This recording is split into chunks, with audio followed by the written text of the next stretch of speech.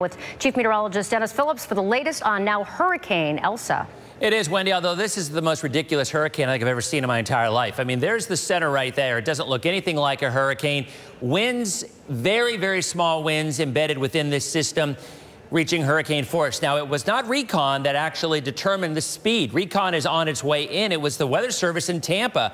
It was the Ruskin Doppler radar looking down and picking up winds right around 75 miles an hour. So the folks at the NHC bumped this up from 70 to 75. And then again, magically, it goes from tropical storm to hurricane. I say that because the impacts will not change. This is more of a meteorology thing whether it's a tropical storm or a hurricane at landfall, the impacts are the impacts. And the good news is it's moving pretty quickly at 14 miles an hour. So in doing so, that means it'll be in and out faster, which means there's less of an opportunity for significant flooding rains outside of surge.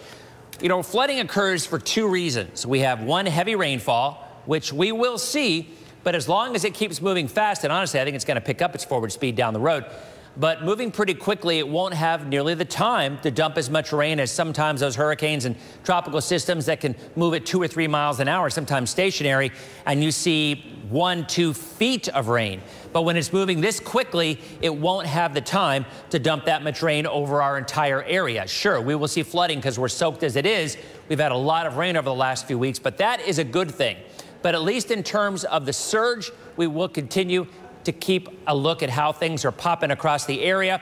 And at this point in time, you will see that rain. There it is. And there are the storms as it comes in from the south.